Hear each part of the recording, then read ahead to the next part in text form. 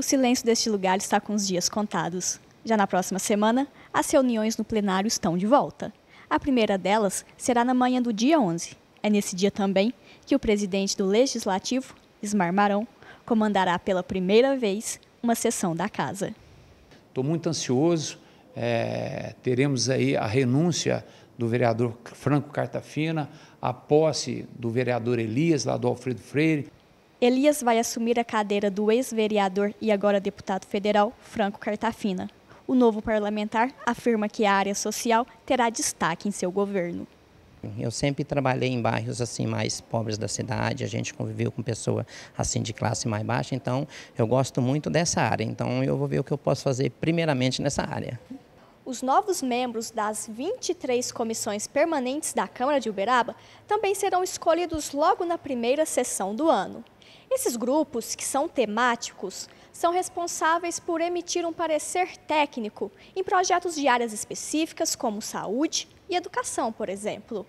A única comissão que emite um parecer em todos os assuntos é a de Justiça. De acordo com o diretor do Departamento Legislativo, cada comissão é formada por quatro vereadores e a renovação será de 100% todos podem estar participando, com exceção do presidente a princípio. Na comissão de Justiça, de Orçamento e dos servidores municipais, o líder do prefeito fica vedado a sua participação. Ainda segundo Guilherme, a dinâmica da votação vai depender do número de candidatos às vagas.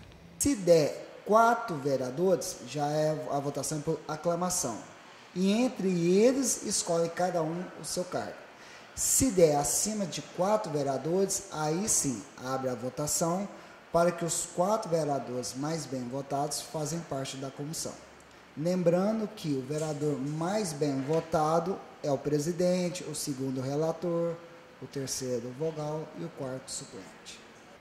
Todas as reuniões da Câmara em fevereiro já estão marcadas. Anota aí. As quatro primeiras serão do dia 11 ao dia 14 e as quatro últimas de 18 a 21. Que seja um ano abençoado.